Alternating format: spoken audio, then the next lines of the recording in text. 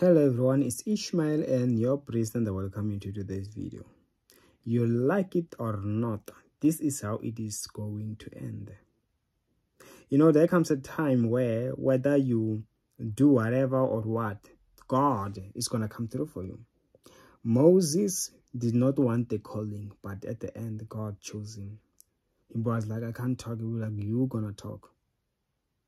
In the name of Jesus Christ, May it be so. May something great forcefully happen unto you in Jesus' name. Amen. And of course, if you want to book an appointment with me, my details are on the description of the video below. See you then.